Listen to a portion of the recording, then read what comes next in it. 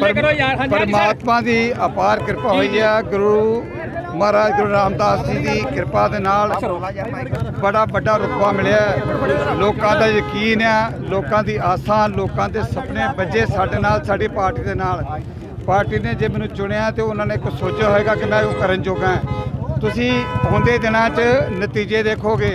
ਤੁਹਾਨੂੰ ਅਸੀਂ ਨਾਲ ਨਾਲ ਫੀਡਬੈਕ ਦਿੰਦੇ ਰਿਹਾ ਕਰਾਂਗੇ।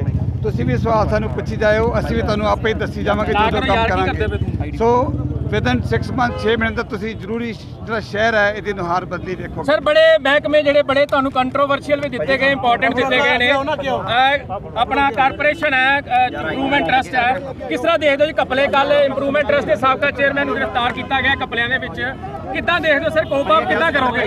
ਨਹੀਂ, ਕਰ ਲਾਂਗੇ ਕਰ ਲਾਂਗੇ। ਅਸੀਂ ਕਾਨੂੰਨ ਜਿਹੜੇ ਸਿੱਧੇ ਕਰ ਦੇਣੇ ਆ। ਸੌਖਾ ਕਰ ਦੇਣਾ ਡੂਇੰਗ ਆਫ ਵਰਕ ਸੌਖਾ ਕਰ ਦੇਣਾ। ਲੋਕਾਂ ਦਾ ਕੰਪਿਊਟਰਾਈਜ਼ ਕੰਮ ਕਰ ਦਾਂਗੇ ਲੋਕਾਂ ਦਾ ਕਨੈਕਸ਼ਨ ਟੁੱਟ ਜਾਏਗਾ ਮੁਲਾਜ਼ਮਾਂ ਨਾਲ।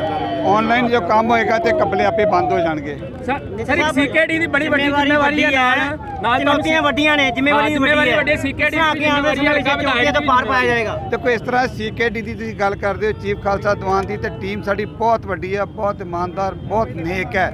ਔਰ ਉਹ ਸਾਰੇ ਕੰਮ ਆਪਾਂ ਵੰਡਦੇ ਆ ਜਿਹੜੇ ਰਹਿ ਗਏ ਉਹ ਵੀ ਵੰਡ ਦੇਣੇ ਆ।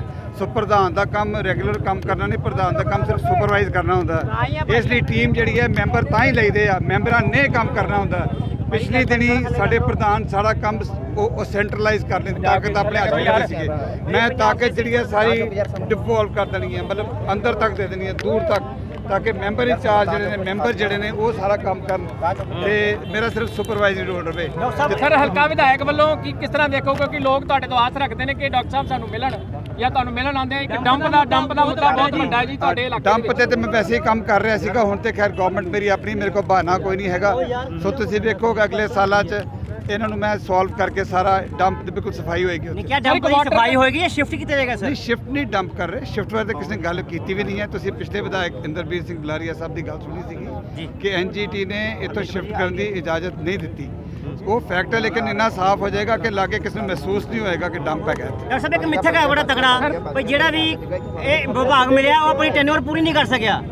ਅੰਮ੍ਰਿਤਸਰ ਦੀ ਗੱਲ ਕਰੀਏ ਤਾਂ ਅੰਮ੍ਰਿਤਸਰ ਜਿੰਨੇ ਵੀ ਮੰਤਰੀ ਸਾਹਿਬਾਨ ਬਣੇ ਨੇ ਉਹ ਆਪਣੀ ਟੈਨਿਓਰ ਪੂਰੀ ਨਹੀਂ ਕਰ ਪਾਏ। ਚਲੋ ਜਿੰਨਾ ਪ੍ਰਮਾਤਮਾ ਸਾਨੂੰ ਦੇਗਾ ਟਾਈਮ ਉਹਨਾਂ ਟਾਈਮ 'ਚ ਅਸੀਂ ਕੰਮ ਕਰਾਂਗੇ ਸਰ ਇੱਕ ਵਾਟਰ ਕੰਜ਼ਰਵੇਸ਼ਨ ਦਾ ਬੜਾ ਇੰਪੋਰਟੈਂਟ ਮੁੱਦਾ ਮਿਲਿਆ ਤੁਹਾਨੂੰ। ਪੰਜਾਬ ਦੇ ਵਿੱਚ ਜਿਹੜਾ ਹੈਗਾ ਪਾਣੀ ਥੱਲੇ ਜਾਈ ਜਾ ਰਿਹਾ। ਹਾਲਾਂਕਿ ਸਰਕਾਰ ਵੱਲੋਂ ਕਦਮ ਚੁੱਕੇ ਜਾ ਰਹੇ ਨੇ ਲੇਕਿਨ ਫਿਰ ਵੀ ਇੱਕ ਤੁਹਾਨੂੰ ਮਹਿਕਮਾ ਹੋਣ ਦੇ ਨਾਤੇ ਤੁਸੀਂ ਇਹਦੇ ਵੱਲੇ ਕੀ ਉਪਰਾਲੇ? ਕਿਉਂਕਿ ਇਹ ਵੀ ਮਹਿਕਮਾ ਜਿਹੜਾ ਲੋਕਲ ਬਾਡੀ ਨਾਲ ਵੀ ਜੁੜਦਾ ਕਿਤੇ ਨਾ ਕਿਤੇ। ਇਹ ਮਹਿਕਮਾ ਮੇਰੇ ਬੜੇ ਦਿਲ ਦੇ ਕਰੀਬ ਆ। ਹਾਂਜੀ, ਹਾਂਜੀ। ਮੇਰੇ ਬਹੁਤ ਕਰੀਬ ਆ। ਜੀ ਜੀ। ਸੋ ਇਹਦੇ 'ਚ ਅਸੀਂ ਕੰਮ ਕਰਨਾ ਮੇਰੀ ਸੈਕਟਰੀ ਸਾਹਿਬ ਨਾਲ ਦੋ ਵਾਰੀ ਮੀਟਿੰਗ ਹੋ ਚੁੱਕੀ ਹੈ। ਉਹ ਮੇਰਾ ਮਤਲਬ ਸਮਝ ਗਏ ਨੇ ਉਹਨਾਂ ਆਪਣੇ ਸਟਾਫ ਨੂੰ ਵੀ ਕਹਿਤਾ ਕਿ ਡਾਕਟਰ ਸਾਹਿਬ ਜੋ ਜੋ ਮੰਗ ਰਹੇ ਇਹਨਾਂ ਦਾ ਆਪਾਂ ਕੰਮ ਸਾਰੇ ਉਸ ਤਰੀਕੇ ਨਾਲ ਕਰੀਏ। ਮੈਂ ਉਹਨੂੰ ਜੋ ਜੋ ਮੇਰਾ ਨਜ਼ਰੀਆ ਹੈਗਾ ਮੈਂ ਦੱਸਤਾ ਹੈ। ਔਰ ਮੇਨ ਇਹ ਹੈ ਕਿ ਮੈਨੂੰ ਪਲਾਨ ਦੱਸੋ। ਸਾਲ ਦਾ ਕੀ ਪਲਾਨ ਹੈ 5 ਸਾਲ ਦਾ ਕੀ ਪਲਾਨ ਹੈ? ਔਰ ਤੁਸੀਂ ਅਗਲੇ ਦਿਨ ਹੀ ਵੇਖੋ ਕਿ ਮੈਂ ਵਿਜ਼ਿਟ ਕਰਾਂਗਾ ਸਾਈਟ ਜਿੱਥੇ ਨਿੱਕੇ ਨਿੱਕੇ ਡੈਮ ਬਣਾਉਂਦੇ ਆ ਨਾ ਉਹ ਵਿਜ਼ਿਟ ਕਰ। ਮੈਂ ਹਰੇ ਗੱਲ ਵਿਜ਼ਿਟ ਕਰਨੀ ਮੈਂ ਘਰ ਬੈਠੇ ਨਹੀਂ ਕੰਮ ਕਰਨਾ। ਤੇ ਉੱਥੇ ਜਾ ਕੇ ਦੱਸੂਗਾ ਵੀ ਇਹਨੂੰ ਕਿਸ ਤਰ੍ਹਾਂ ਜੋ ਮੈਂ ਆਪਣੇ ਨਜ਼ਰੀਏ ਨਾਲ ਕਰਨਾ ਕਿਸ ਤਰ੍ਹਾਂ ਇੰਪਰੂਵ ਕਰ ਸਕਦੇ ਹਾਂ ਕੀ ਡਿਫੈਕਟ ਹੈ। ਸੋ ਅਸੀਂ ਕਰਨ ਜਾ ਰਹੇ ਹਾਂ। ਦੂਜੀ ਜਿਹੜੀ ਪਾਈਪਾਂ ਪਾਈ ਦੀਆਂ ਨੇ ਆ ਪਾਣੀ ਪੈਲੀਆਂ ਦਾ ਖੜਨ ਨੂੰ ਇਹ ਨਹਿਰੀ ਵਿਭਾਗ ਦੇ ਨਾਲ ਜੁੜ ਕੇ ਅਸੀਂ ਉਹ ਵੀ ਕੰਮ ਕਰਨਾ ਆ। ਜਿਹੜਾ ਡ੍ਰਿਪ ਸਿਸਟਮ ਹੈ ਉਹ ਵੀ ਕਰਨਾ ਆ। ਜਿਹੜਾ ਸਪ੍ਰਿੰਕਲਰ ਸਿਸਟਮ ਹੈ ਉਹ ਵੀ ਕਰਨਾ। ਸੋ ਬੜੇ ਕੰਮ ਕਰਨ ਵਾਲੇ ਨੇ। ਟਰਸਟ ਵੀ ਅਸੀਂ ਕਰ ਰਹੇ ਮੈਂ ਇਜ਼ਰਾਈਲ ਦਾ ਮਾਡਲ ਵੀ ਪੜ੍ਹ ਰਿਹਾ ਜਿਹੜਾ ਇਜ਼ਰਾਈਲ ਦਾ ਮਾਡਲ ਹੈ ਨਾ ਇਜ਼ਰਾਈਲ ਪੂਰਾ ਰੇਗਿਸਤਾਨ ਹੈ। ਲੇਕਿਨ ਐਡੇ ਸੋਹਣੇ ਫਲ ਉਗਾਉਂਦਾ ਐਡੇ ਸੋਹਣੇ ਫੁੱਲ ਉਗਾਉਂਦਾ ਐਡੀ ਸੋਹਣੀ ਸਬਜ਼ੀ ਉਗਾਉਂਦਾ ਤੇ ਸਾਡੇ ਕੋਲ ਪਾਣੀ ਹੁੰਦੇ ਹੋਏ ਅਸੀਂ ਕਿਉਂ ਨਹੀਂ ਉਗਾ ਸਕਦੇ? ਸਾਰੇ ਕੰਮ ਕਰਨ ਵਾਲੇ ਦੇਖੋਗੇ ਹੌਲੀ ਕਰਕੇ ਨਾ ਡਾਕਟਰ ਸਾਹਿਬ ਗੁਰੂ ਨਗਰੀ ਦੀ। ਹਾਲਤ ਬੜੀ ਖਸਤਾ ਹੈ ਸੜਕਾਂ ਮਾੜੀਆਂ ਨੇ ਕੂੜੇ ਦੇ ਢੇਰ ਲੱਗੇ ਹੋਏ ਨੇ। ਗੰਦਗੀ ਦਾ ਆਲਮ ਹੈ ਬਹੁਤ ਸੁਧਾਰ ਕਰਨ ਵਾਲੇ ਨੇ ਉਹਦੇ ਬਾਰੇ ਤਾਂ ਹੀ? ਤਾਂ ਹੀ ਤੇ ਅਸੀਂ ਇਲੈਕਸ਼ਨ ਲੜੀ ਹੈ। ਹੁਣ ਕੱਲ ਹੀ ਮੀਟਿੰਗ ਕਰ ਲਈ ਹੈ ਅ, ਆਪਣੇ ਕਮਿਸ਼ਨਰ ਸਾਹਿਬ ਨਵੇਂ ਆ ਗਏ ਨੇ। ਮੇਅਰ ਸਾਹਿਬ ਹੈਗੇ ਨੇ ਪੰਜੋ ਐਮਐਲਏ ਅਸੀਂ ਇਕੱਠੇ ਹੋ ਕੇ ਮੀਟਿੰਗ ਕਰਾਂਗੇ।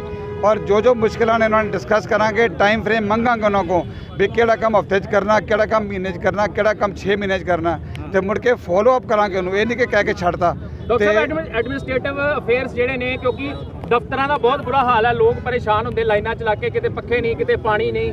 ਤੇ ਚਾਹੇ ਤਹਿਸੀਲ ਹੈ ਚਾਹੇ ਉਹ ਕਚਹਿਰੀ ਹੈ ਚਾਹੇ ਉਹ ਡੀਸੀ ਆਫਿਸ ਹੈ ਉੱਥੇ ਕੰਮ ਜਿਹੜੇ ਲੋਕਾਂ ਦੇ ਬੜੇ ਔਖੇ ਹੁੰਦੇ ਨੇ ਬੜਾ ਔਖੇ ਮੁਸ਼ਕਲ ਦਾ ਸਾਹਮਣਾ ਕਰਨਾ ਪੈਂਦਾ। ਸਰਕਾਰ ਨੇ ਕਿਹਾ ਸੀ ਕਿ ਘਰ ਬੈਠੇ ਜਿਹੜਾ ਤੁਹਾਨੂੰ ਸਰਵਿਸਿਜ਼ ਦਿੱਤੀਆਂ ਜਾਣਗੀਆਂ। ਇੱਕ ਤੇ ਉਹ ਹੈ ਇੱਕ ਦੂਸਰਾ ਐਡਮਿਨਿਸਟ੍ਰੇਟ ਜਿਹੜੀ ਸਰਵਿਸਿਜ਼ ਨੇ ਉਹਨੂੰ ਕਿਸ ਤਰ੍ਹਾਂ ਉਹ ਸਰ ਉਹ ਆਏਗਾ ਉਹ ਆਏਗਾ ਉਹ ਉਹ ਆਏਗਾ ਗਵਰਨੈਂਸ ਦੇ ਵਿੱਚ ਉਹ ਗਵਰਨੈਂਸ ਦੇ ਵਿੱਚ ਆਏਗਾ। ਐਡਮਿਨਿਸਟ੍ਰੇਟਿਵ ਰਿਫਾਰਮਸ ਨਹੀਂ ਆਏਗਾ ਤੇ ਉਹ ਕੋਈ ਗੱਲ ਨਹੀਂ ਉਹ ਟਾਈਮ ਨਾਲ ਦੱਸਿਆ ਜਾਵਾਂਗਾ ਤੁਹਾਨੂੰ।